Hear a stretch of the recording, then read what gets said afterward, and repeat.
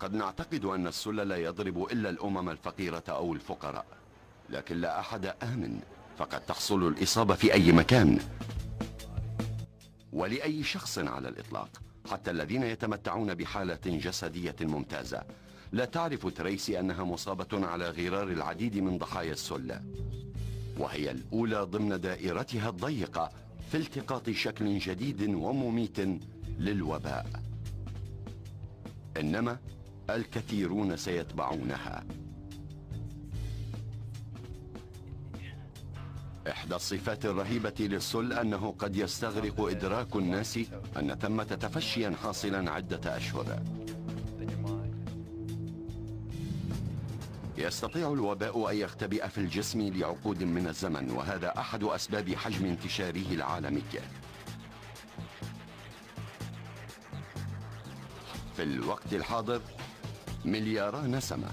ثلث سكان الأرض مصابون بال Mycobacterium tuberculosis أي جرثومة السل التي تقتل سنويا حوالي المليون شخص. مع ذلك وفي أصقاع عدة من العالم يخطئون باعتبار السل وباء من الماضي. إنه الوباء الأكثر فتكا في العالم لكن لا أحد يكترث له. البروفيسور لي رايكمان هو المدير التنفيذي للمركز الوطني للسل في كلية نيو جيرسي للطب. ما الذي يهتمون له؟ السارس الذي قتل ما مجموع 813 شخصا. وحمى ماربرغ النافذة في أنغولا. قتلت حوالي 250 شخصا. إنهم يتشوقون لذينك الوبائين ولا أستطيع أن أفهم لماذا السل القابل للتفادي والعلاج والشفاء. إن أولي الاهتمام والجهد يسمحون له بقتل آخرين وبأعداد كبيرة جدا. حتى وقت قريب قلة هم الذين استخفوا بالمفاعيل الموهنة والمميتة للسل. فعلى مر التاريخ المسجل كان اكتشاف إصابة إنسان بالسل يعني الحكم عليه بالإعدام. إن الوباء يلتهم الجسم من داخله. إنه يقدم ببطء وثبات الأنسجة الحية. إن السل تسببه بكتيريا صدرية تعرف بالعصية. تلك العصويات صغيرة جدا ولا تراها العين المجردة. لكنها ليست بالغة الصغر كالفيروسات فيمكن عادة أن نراها بمجهر جيد وهذا ما حصل في القرن التاسع عشر عندما لاحظ العلماء أن السلة تتسبب به أشكال حياتية بكتيرية تنتقل من إنسان إلى آخر. ونظرا لغياب العقاقير الضرورية لقتل تلك الجراثيم أقدمت السلطات الصحية في كل أرجاء الأرض على عزل الراشدين والأطفال المصابين عن عامة الناس. وقد وضعوا في مستشفيات مختصة سموها المصحات حيث انتظروا أشهرا أو سنوات استعادة عافيتهم أو الموت. ونسبة الفئتين متناصفة. كيف هي أحوال من يصاب بالسل؟ البحاثة الأسطوري في مجال السل الدكتور جاك جروسيت يعرف ذلك. فعندما كان طالبا في فرنسا نقل مريض إليه شكلا من الوباء مقاوما للعقاقير. برأيي هو شبيه قليلا بمرض الإيدز كنت أقول بالفرنسية إن السماء هوت على رأسي.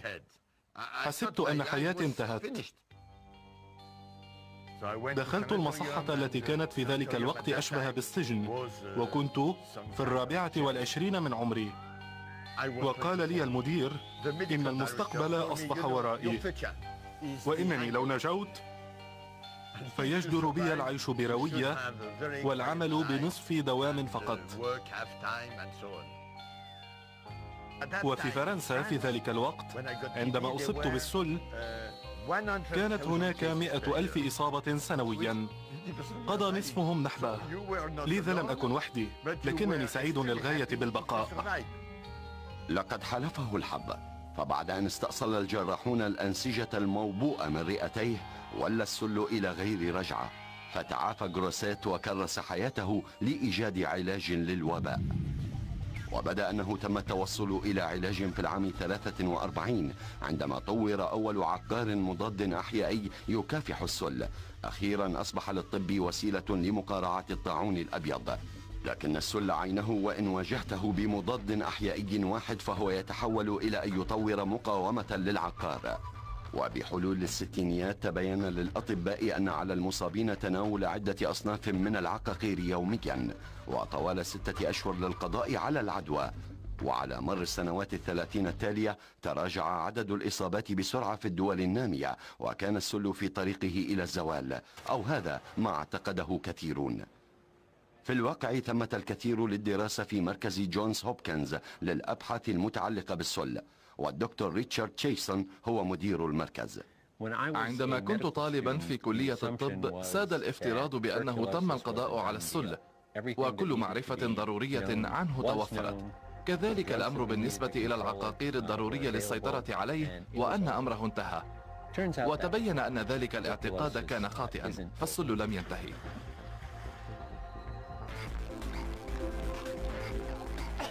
ليس لدى هذه المرأة ما يدعوها إلى الاعتقاد بأن الطاعون الأبيض بداخلها. فمن الأسهل كثيرا إلقاء الملامة بسعالها على أسباب أخرى. علي الإقلاع عن التدخين. لا يفرق السل بين المستويات الاقتصادية والاجتماعية أو الوظائف أو الدراسة. يمكن لأي كان الإصابة بالسل. ويبدو أن ثمة مفهوما سائدا بأن الفقراء والأقليات وحدهم يصابون بالسل. وهذا اعتقاد خاطئ. إذا كيف تصاب امرأة ثرية في بيفرلي هيلز بالسل؟ لمعرفة الأجوبة علينا متابعة حلقة الأشخاص الذين تراهم يومياً. إن السل يعتمد على النشاطات الجماعية لينتشر ويزدهر فمن الصعب التقاطه من غريب أكثر من الإنفلونزا. على سبيل المثال لنفترض أن رئتي هذه الصهباء تحويان إصابة نشطة بالسل. عندما تضحك أو تغني أو تسعل أو تعطس فإن قطيرات صغيرة من اللعاب الموبوء تتطاير من فمها وتنتشر في محيطها. إنما يتطلب عادة تجذر العدوى التعرض المستمر لأيام. وهذا لا يصح دائما. فالبعض ولأسباب مجهولة. لديهم استعداد كبير للإصابة بالسل. والبعض أصيب بالعدوى في ساعات معدودة. لكن في هذه الظروف في الخارج وفي يوم مشمس ودافئ فإن فرصة الإصابة ضئيلة. فأشعة الشمس تقتل البكتيريا في الهواء كما في هذه القهوة. إن عشرة بالمئة فقط من ملتقطي السل يمرضون. مع ذلك فإن الخطر كبير لأن السل يستطيع أن ينام في الجسم لعقود من الزمن إلى أن يوقظه شيء ما. وإن لم يعالج المصاب فالموت محتم بنسبة 50% وهذا مع السل العادي. فاليوم انتشرت سلالات جديدة في أنحاء الأرض. سلالة تعجز العقاقير عن القضاء عليها. إنها كارثة صحية عالمية تحدق بنا جميعا. وهذه المرأة قد تكون هي حاملة سر التفشي القتال التالي.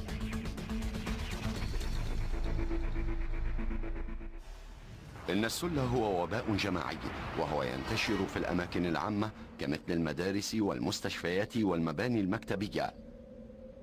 إن الجرثومة تزدهر في الغرف المظلمة ذات الهواء الراكد. وهي تستطيع أن تطفو في الهواء لساعات.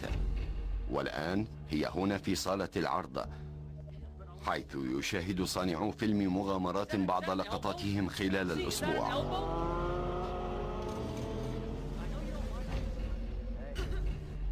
تريسي موجودة هنا برفقة زوجها منتج الفيلم. وزميلة تريسي في تمارين اليوغا تؤدي دورا في الفيلم لذا جلست مع المخرج. ظاهريا يبدو كل شيء طبيعيا لكن الطاعون الأبيض ينتشر في أرجاء الصالة.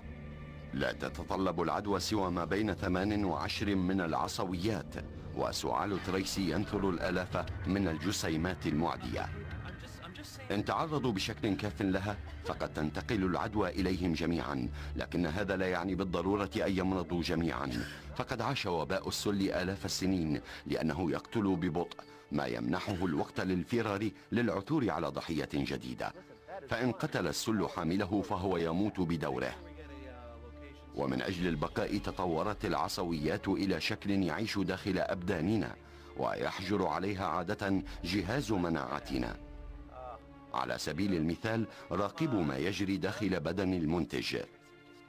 إنه يتنشق بكتيريا السل. وعندما تهبط العصية في الحلق تبحث عن موقع دافئ لتستريح داخل رئتيه.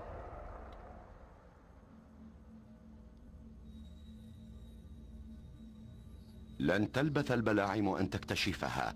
وهي خط الدفاع الأول للكريات البيضاء العائدة لجهاز المناعة. البلاعم تكنس وتمتص الجسيمات الدخيلة من أبداننا. لكن القوقعة الحامية والسميكة حول عصية السل لن تتداعى فتنتقل البلاعم إلى الخطة البديلة. تحيط موقع الالتهاب وتضع قوقعة صلبة تسمى درينة الآفة التي تتحدر منها عبارة تدرن. تبقى العصويات حية لكنها محتجزة ولا يمكنها الانتشار في أرجاء الجسم ولا تستطيع الانتقال إلى أشخاص آخرين وهذا يسمى إصابة كامنة.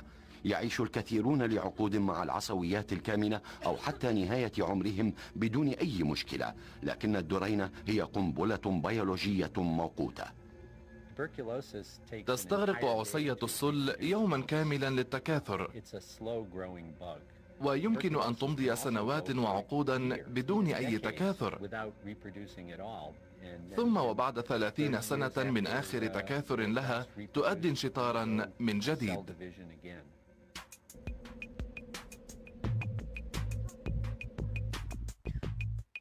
إن أمراض الرئة هي الأشكال الأكثر شيوعا للسل الفاعل والأسهل لكشفه لكن يمكن للسل أن يثبت جذوره في أي مكان من الجسم.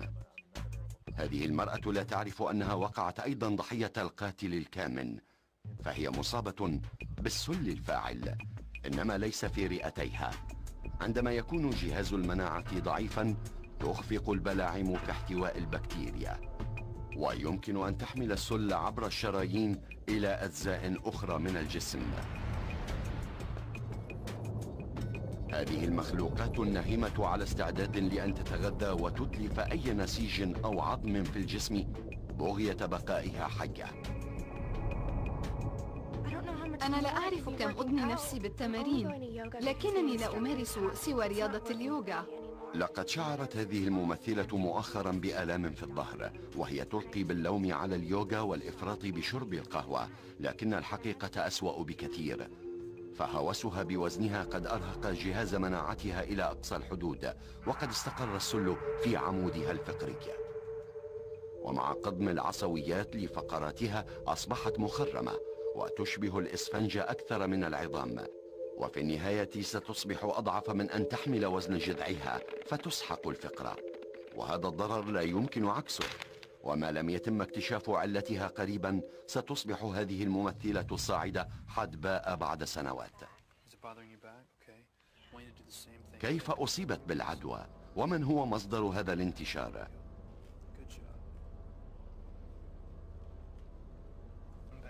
المصدر ليس تريسي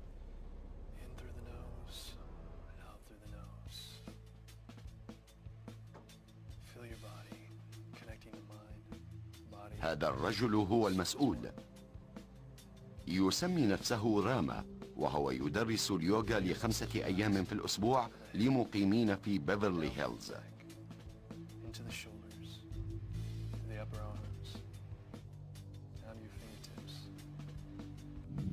في الماضي كان راما عاملا في مرأب للسيارات يدعى الدوغ.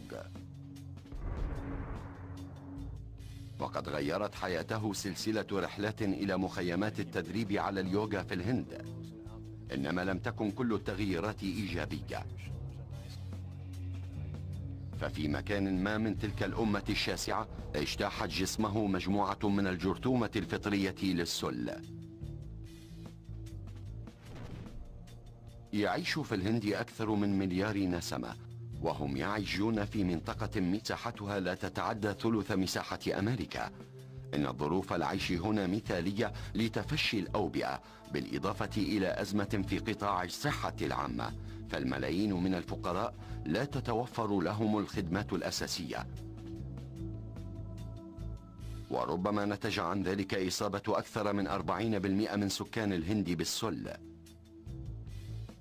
هنا يسجل سنويا مليونا إصابة جديدة. والبلد في سباق مع الزمن.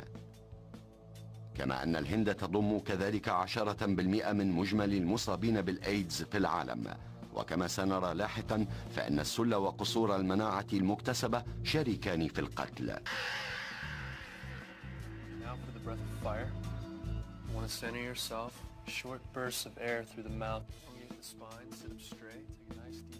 أنصار اليوغا يدعون أن التنفس السريع الوتيرة قادر على تطهير الرئتين. لكن في هذه الحالة فإن له التأثير المناقض. كلما مارس راما نفس النار فهو يلفظ سحبا من البكتيريات المعدية.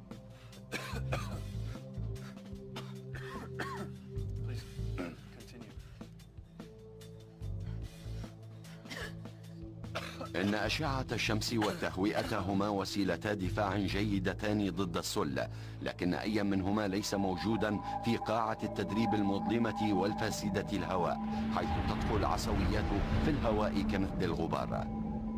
إن جدرانا سميكة وحامية تحيط بالخلايا البكتيرية والجرثومة الفطرية للسل لها جدار أسمك من معظمها وهي تحميها من جهاز المناعة ومن اليباس. لذا فهي تستطيع البقاء حية خارج الجسم ومعدية لأشهر.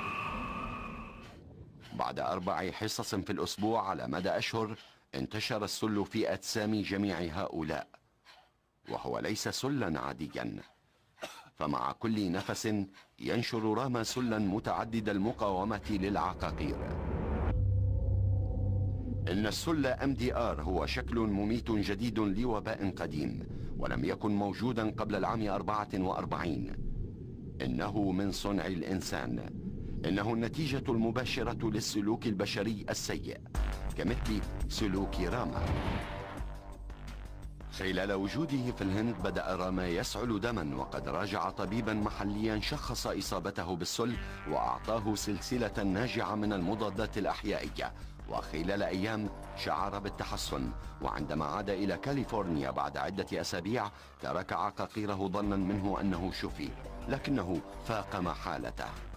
نظرا لعدم إكمال علاجه خلق في جسمه سلالة جديدة من السل المقاوم للعقاقير. عندما لا يتناول المريض العقاقير الأربعة أو الخمسة التي يحتاج إليها أو إن لم يتناولها طيلة ستة أشهر فإن السل الذي لم يقضى عليه يطور مناعة خاصة به. لماذا؟ لأن كل الكائنات الحية مبرمجة على البقاء. بإمكان المضادات الأحيائية أن تقضي بسرعة على غالبية السل في الجسم لكن بعض الجراثيم تتطلب وقتا أطول. وإن توقف المصاب عن تناول العقاقير قبل القضاء على كل العصويات في جسمه فإن الجراثيم تستطيع التحول إلى شكل أصلب يمكنه مقاومة مضاداته. والأسوأ من ذلك أن هذا السل الأقوى يستطيع الانتقال إلى أشخاص آخرين. أول مضاد أحيائي البنسلين أنتج عام 29 ومنذ ذاك الحين تم تطوير عدد كبير من المضادات الأحيائية لعلاج مروحة من الأمراض الخطيرة. وفي السنوات الأولى ابتكر العلماء مضادات أحيائية جديدة بأسرع من تطوير الفيروس مقاومة لها لكن كل هذا قد تغير. فيعتقد البعض الآن أن المتعظات المجهرية قد سبقتنا وأن خياراتنا لعلاجها قد تضاءلت. العديد من جراثيم المستشفيات ذات المستوى المتدني أصبحت الآن قادرة على مقاومة شتى المضادات الأحيائية والجراثيم الخطرة كمثل سل MDR تستطيع مقارعة أي دواء نستعمله ضدها. إن عمليات التفشي الكبير للسل قد تسارعت وتيرتها مؤخرا. واحدة من أولاها حصلت في مطلع التسعينيات في مكان لم يتوقعه أحد. نيويورك. نيويورك القلب الاقتصادي النابض لأمريكا الذي ينعم بعناية طبية من الدرجة الأولى. إذا ماذا حصل؟ الدكتور لي رايكمان من كلية الطب في نيو جيرسي كان هناك. لقد تم تفكيك برنامج ضبط السل في مدينة نيويورك لأن الحكومة الفيدرالية بحكمتها قررت أن السل لم يعد مسألة مهمة فحولت الأموال إلى برامج أخرى. لذا أوقفت برامج كان الغرض منها معالجة هؤلاء المصابين وقد حصلت زيادة هائلة في عدد سلالات السل المقاومة للعقاقير. فخلال أواخر الثمانينيات ومطلع التسعينيات 20% من إصابات السل في مدينة نيويورك كانت مقاومة للعقاقير وهذه كانت كارثة. ما يثير السخرية أن مستشفيات نيويورك ساعدت على نشر السل المقاوم للعقاقير بين المواطنين ففيها عدد كبير من الناس المصابين بالوباء المقاوم للمضادات الأحيائية أمضوا فترات طويلة يتشاركون الهواء في غرف مقفلة. العديد من المرضى أصيبوا بالسل بهذه الطريقة. كذلك الأطباء والممرضات وعاملون آخرون في القطاع. كان التفشي في نيويورك تطورا منذرا بالشؤم. ففي حال استطاع التفشي هنا يمكن أن يتفشى في أي مكان. طلب أطباء الأوبئة اتخاذ خطوات دراماتيكية. فقد علموا أنه عندما يتطور السل المقاوم للعقاقير فمن الصعب علاجه. وبغي تسحقه عليك القضاء على السل العادي قبل أن يطور مقاومة للعقاقير. وهذا يعني التأكد من تناول المصابين بالسل لعقاقيرهم في الأوقات المحددة. وهذا أصعب مما يبدو. إن تناول العقاقير هو تصرف بشري خارج عن المألوف. لذا لا يجدر بنا الاعتماد على الناس بأن يتناولوا طوعا وبفرح أدويتهم. فهذا لا يحصل أبدا. وفي أي مكان من الصعب جعل الناس يتناولون الأدوية. لذا فإن العلاج تحت المراقبة هو مقاربة تضمن علاجهم وشفاءهم. العلاج تحت المراقبة المباشرة المعروف بدوتس يبدو أفضل أمل لدينا لردع السل المقاوم للعقاقير فيطلب من مرضى السل تناول عقاقيرهم أمام عاملين في القطاع الصحي كل يوم وطيلة ستة أشهر. لا يوجد عهد شرف ولا جدال. إما أن تتناول العقاقير أو توضع في الحجر. بعد تفشي العام 93 جعلت أمريكا من مقاربة DOTS النظام الأساسي للعناية بمرضى السل. والآن يعتمد في كل أرجاء العالم. فالصين أطلقت مؤخرا برنامج DOTS بشكل مكثف وفعال لاحتواء السل في محافظاتها الريفية. لكن العديد من الأمم لا تملك لا المال ولا البنى التحتية لإطلاق هذه الحملات. إن الأراضي التي كانت خاضعة للاتحاد السوفيتي السابق تعاني أزمة عناية صحية تهدد آسيا وأوروبا وفي النهاية العالم بأسره. كان الاتحاد السوفيتي دولة توتاليتارية قمعية لكنه نجح في مجال واحد على الأقل. كان لديه نظام عناية صحية عالمية بالغة التنظيم لكن رافق تداعي الشيوعية انهيار العناية الصحية. وبعد تفكك الاتحاد السوفيتي عام 91 رحل العديد من الأطباء والعلماء وتوقف تمويل المستشفيات والمستوصفات. بين العام 90 و 94 تراجع معدل عمر الرجال في الاتحاد السوفيتي السابق من 64 إلى 57 وهو المعدل الأدنى بين كل الأمم النامية. إن السجون الروسية هي مركز التفشي فهي مكتظة وزهيدة التمويل. فهي خزانات للسل المقاوم للعقاقير. فسجين واحد من بين كل عشرة مصاب بالسل الفاعل وربعهم مصاب بالنوع المقاوم. إن كنت في زنزانة في روسيا خلال الشتاء في تاسك في سيبيريا حيث النوافذ محكمة الأقفال وفيها ثلاثون أو أربعون سجينا بوجود عشرة أسرة فقط وهم يتناوبون على النوم. وجميعهم يتنفسون ويسعلون لأنهم يدخنون إضافة إلى الرطوبة العالية. وإن كان أحدهم مصابا بالسل فبحلول نهاية السنة سيصابون جميعا بالسل. كل سنة يفرج عن 300 ألف سجين من السجون الروسية وجميعهم تقريبا كانوا عرضة للسل. وغالبا ما يكون النوع المقاوم ولهذه الكارثة الصحية ارتكاسات عالمية. لابد من أن بعض المصابين غادروا روسيا سعيا إلى حياة أفضل في مكان آخر.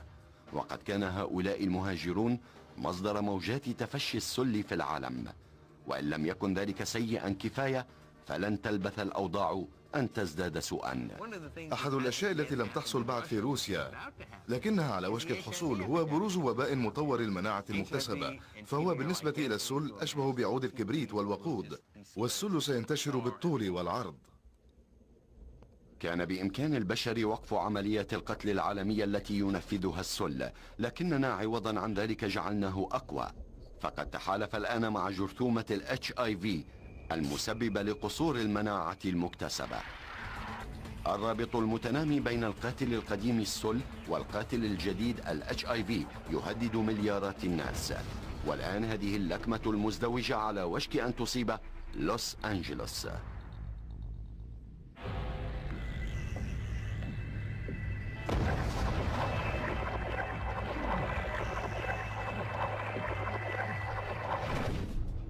يقيم في لوس أنجلوس حوالي عشرة ملايين شخص إضافة إلى مليون آخر من المهاجرين غير الشرعيين والعابرين. وثمانية عشر بالمئة منهم يعيشون تحت خط الفقر لكن عدد أصحاب الملايين فيها هو أكثر منه في أي مدينة أخرى. في حال تفشي السل المقاوم للعقاقير هنا فقد يواجه الجميع الخطر لكن السل أظلم مع المعانين. لا سيما المصابين بالاتش اي في المسبب لقصور المناعة المكتسبة أو الأيدز أصبح السل الآن القاتل رقم واحد للمصابين بالأيدز في حال تفشى السل المقاوم للعقاقير بين جماعة الأفلام في هوليوود فلا يتأخر في إصابة أحد المعانين من الأيدز. يقدر عدد المصابين بالجرثومة في لوس أنجلوس بحوالي 16 ألفاً. وكمثل الكثيرين الذين لا يعرفون أنهم مصابون بالسل فإن العديد من المصابين لا يعرفون بوجود الجرثومة في أبدانهم.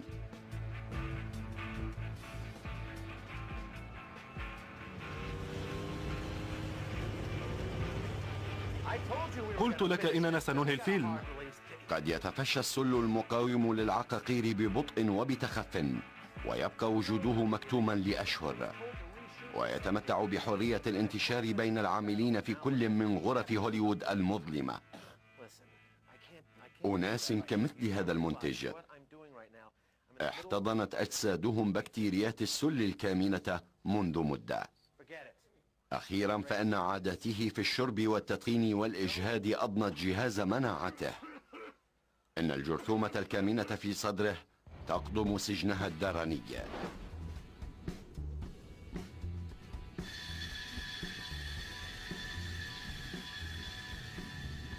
الكتلة التي تشبه الجبن الأبيض هي بكتيريا ممزوجة مع بعض بقايا البلاعم. عصويات من البكتيريا المتصلبة أصبحت الآن طليقة. يحاول بلعم التهامها. يحاول ويفشل. عوضا عن ذلك يتحول البلعم إلى عامل تسليم فيحمل العصويات إلى أعماق الرئتين. ومع تكاثر البكتيريا تتكرر هذه العملية حتى يصاب المنتج بإصابة كاملة من السل المقاوم للعقاقير. إعياؤه سيتفاقم تدريجا لكنه الآن معدن. وهذا نذير شؤم للجميع لا سيما بالنسبة إلى هذا المؤلف. إنه مصاب بالاتش اي في Kenny, Kenny, Kenny, you're just killing me here.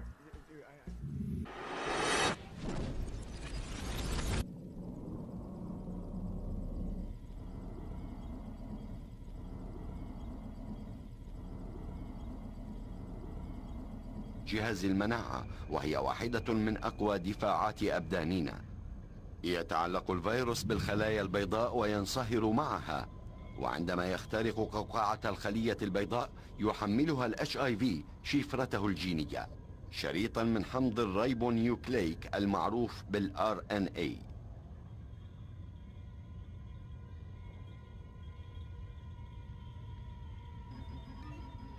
خلال تنقله يصنع ال RNA صورة مطابقة له.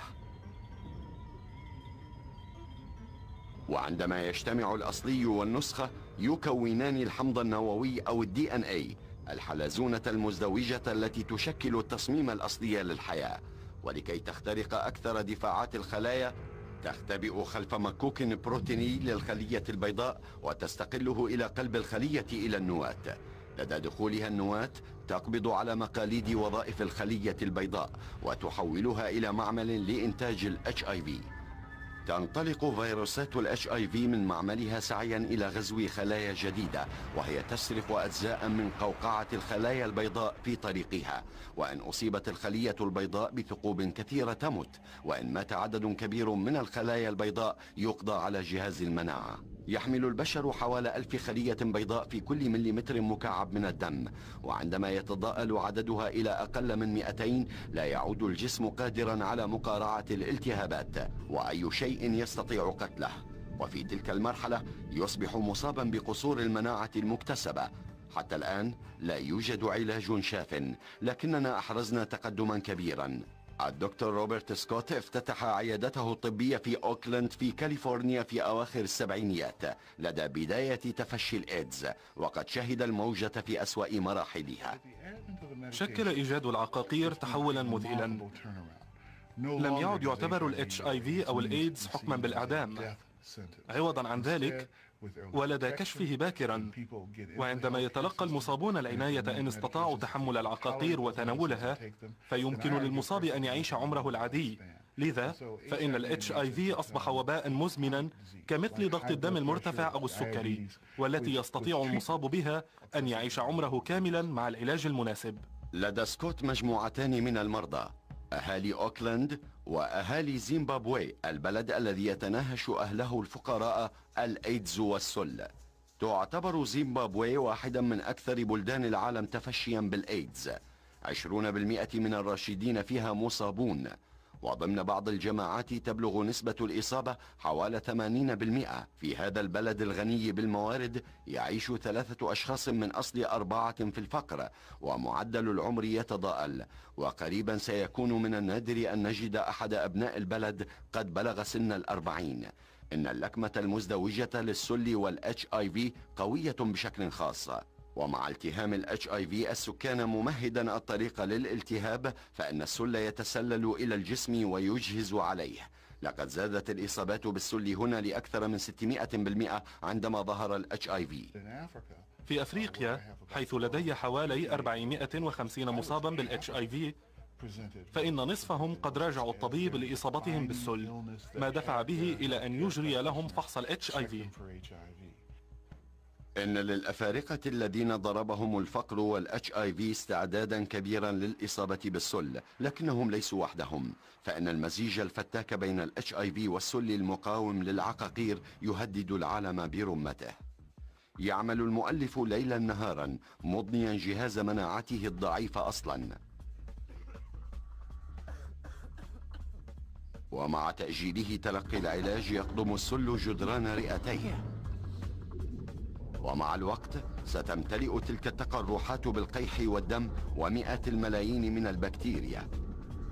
سيجد صعوبة في التنفس بشكل مضطرد. في هذه الأثناء ومع تفاقم سعالها راجعت زوجة المنتج أخيرا الطبيب الذي لم يستطع فهم علتها فالسل لا يظهر في فحوص الدم العادية. إنه بحاجة إلى فحص جلد أو نخامة ليكشف العصية. إن الأقل ترجيحا لإلتقاطهم عدوى السل هم الذين يستغرق طويلا تشخيص إصابتهم. لأنه لا يتبادر أبدا إلى أذهان أطبائهم أنه السل. يفكرون في كل شيء آخر أولا. وتنقضي أشهر قبل أن يفكروا أخيرا بأنه قد يكون السل إن مهاجرا متشردا من أمريكا الوسطى يتعاطى المخدرات بالحقن وهو مصاب بالإيدز تشخص إصابته بالسل في غضون أيام. عاجلا أم آجلا سينجح أحدهم باكتشاف الحقيقة وربما ينقذ حياة هذه المرأة. إن أصيبت بالسل العادي سيكون علاجها سهلا فما عليها سوى ابتلاع حفنة من الأدوية الرخيصة طوال ستة أشهر. لكن السل المقاوم للعقاقير يتطلب سنتين من العلاج الكيميائي السمي المكثف وهي مدة علاج تفوق مدة العديد من أنواع السرطان وهو باهظ الكلفة ونجاحه غير مؤكد فثمة أمل في الشفاء نسبته 50% إن التفشي المتزايد للسل المقاوم للعقاقير مقلق بشكل خاص لأنه لم يحرز ضده إلا تقدم بسيط. إن الباحثين في مجال السل يحاولون لكن الأموال والقدرات التي يحتاجون إليها لصنع لقاحات ومضادات أحيائية تفوق قدراتهم. تستطيع شركات الأدوية تخصيص تلك التوظيفات لكنها ليست أولوية لديها. إن تطوير مضادات أحيائية بشكل عام هو مجال يعاني الإهمال الآن والكثير من عمليات تطوير المضادات الأحيائية أنجزها علماء جراثيم اعتمدوا على الحظ وبما أن الحظ حلفهم فمن الصعب أن يبقى إلى جانبهم الآن. فشركات الأدوية تميل إلى إنتاج دواء لمكافحة البدانة أكثر منها إلى دواء مضاد للسل. لأن سوق أدوية البدانة أكبر وأغنى من سوق المضادات الأحيائية. في غياب علاجات جديدة فإن المفتاح هو في تفادي تفشي الوباء. لقد بحث العلماء عن لقاحات وقائية طوال قرن لكن حتى الآن لا يوجد إلا واحد هو ال BCG وهي معادلة اخترعت عام 21 لكن العديد من البلدان لن تستخدمها لأنها ليست فعالة إلا لدى 5% فقط من الذين يتلقونها. إن جهاز المناعة يحقق نجاحا بنسبة 90% وإن كان لدينا لقاح لوباء معد كالسل بفعالية نسبتها 90% فسنطير فرحا. وجهاز المناعة هو أشبه باللقاح الرائع فكيف يمكنك أن تحسن مفاعيل جيدة أساسا؟ على خلاف السل فإن دفاعات الجسم بلا حول ولا قوة أمام الاتش اي في جهاز المناعة الذي يستهدفه الفيروس يتعرض للخطف فيصبح ملجأ لإنتاج المزيد من فيروسات اي في وعدم تلقي العلاج يعني الموت المحتوم.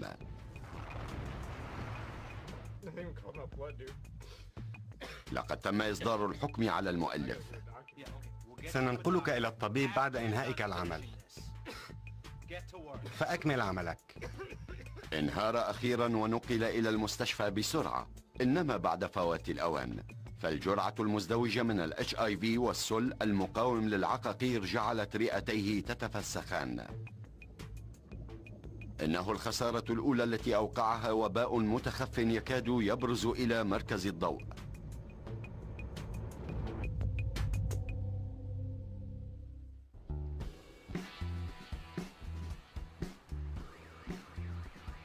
يموت يوميا في لوس أنجلوس ما معدله 164 شخصا. غالبية تلك الوفيات لا تخضع للتحقيق. في حال كان المتوفى فقيرا ويعاني من مشاكل متعددة فإن موته لن يثير الشبهات. لكن عندما يموت شخص لا يقف على هامش المجتمع فمن المرجح أن يريد شخص ما في مكان ما أن يعرف السبب. وفي هذه الحالة طلبت أسرة شاب محزونة تشريح جثته. وعندما وصلت النتائج ستقرع صفارات الإنذار في كل أرجاء مقاطعة لوس أنجلوس. حتى أنها ستسمع في عالم الاستعراض. فكل من احتك به المتوفى خلال الأشهر القليلة الماضية سيخضع لفحص السل إضافة إلى جميع الذين احتكوا بهم أيضا. والهدف هو العثور على كل من يمكن أن يكون مصابا بالعدوى لمنع الوباء من الانتشار. إن صمدت هذه السلالة من السل المقاوم للعقاقير لأشهر فقد يكتشفون عشرات ومئات الإصابات الفاعلة من السل المقاوم للعقاقير.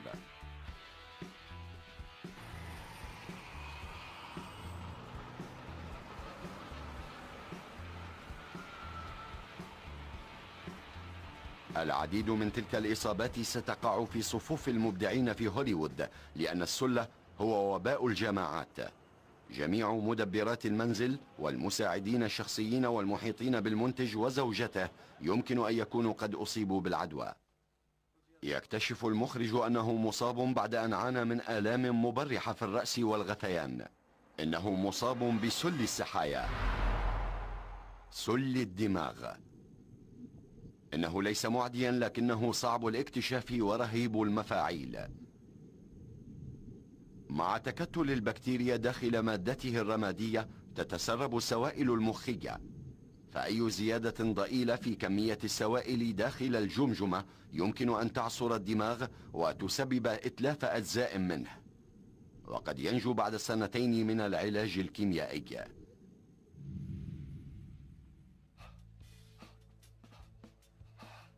ماذا عن راما مصدر الانتشار؟ ما إن ظهر موظف دائرة الصحة حتى استقل رام الطائرة التالية إلى الهند من أجل إنعاش روحي هو بحاجة ماسة إليه ليسبق بخطوة المحامين الذين يعرف أنهم سيلاحقونه وبعد أشهر تأخذ الطبيعة مجراها. هذا هو العالم المتخيل لكن موجات الانتشار الحقيقية للسل المقاوم للعقاقير تحصل باستمرار ويتفق الخبراء على أنها ستستمر في الحصول إلى أن نجد لقاحات جديدة أو أدوية جديدة أو فترات علاج أقصر. من المشين أن الوباء الذي يقتل أناسا أكثر من غيره. ما زلنا نعتمد له تشخيصا ابتكر عام 1890 ونعتمد على أدوية للسل آخرها أنتج في أواخر الستينيات. وما زلنا نعتمد على لقاح غير فعال. بعض المصابين لديهم عصية تقاوم كل أنواع المضادات الأحيائية وهم بحاجة ماسة إلى مضادات أحيائية جديدة وإلا فسوف يموتون. إن استطعنا علاج الناس في يوم واحد وبجرعة واحدة فهذا سيكون مثاليا. لكن حتى لو استطعنا تقليص فترة العلاج إلى شهرين أو ثلاثة فهذا سيكون أسهل بكثير. إن التقدم الذي أحرز في مجال أدوية السل بطيء لأن الجرثومة ذاتها تنمو بوتيرة أبطأ من العصويات المتعددة الأخرى وهذا يتيح أفضلية غير عادية. فتجارب الأبحاث على السل قد تستغرق أشهرا أو أياما. إنما على خلاف السل فإن البشر لا يمكنهم أخذ كل وقتهم. علينا مكافحة هذا الوباء قبل أن يزداد قوة شكله المقاوم للعقاقير. يشعر خبراء السل بإلحاح يغفل آخرون عنه لأنهم يخشون من أن المزيد من موجات التفشي في العالم للسل المقاوم للعقاقير تلوح في الأفق. فقد نظروا إلى مستقبلنا المليء بالمزيد من ال HIV لتغذية محرك السل. عالم حيث يسافر الجميع ولا أحد يتحلى بالصبر ليتلقى العلاج لأشهر أو سنوات بغية القضاء على الطاعون الأبيض. عالم حيث تظهر مضادات أحيائية جديدة بالصدفة بينما الأشخاص الذين ينتظرونها يتآكلون من الداخل. إنها ليست رؤية مفرحة إنما ليس بالضرورة أن تنتهي الأمور على هذا النحو. فإن جهدا جماعيا مكثفا لصنع أدوية جديدة لمكافحة السل المقاوم للعقاقير ولسحق الوباء حيثما يبرز يمكن أن يوقف الطاعون الأبيض مكانه. كما أنه يجعل العالم أكثر أمانا للأعداد المتنامية بسرعة من المصابين بال HIV ما علينا تذكره جميعا عندما نشعر بالرضا عن أننا في بلاد لديها برنامج جيد للسيطرة على السل هو أن السل وباء عالمي وأن الطريقة الوحيدة للسيطرة على السل في أي مكان هو السيطرة عليه في كل مكان.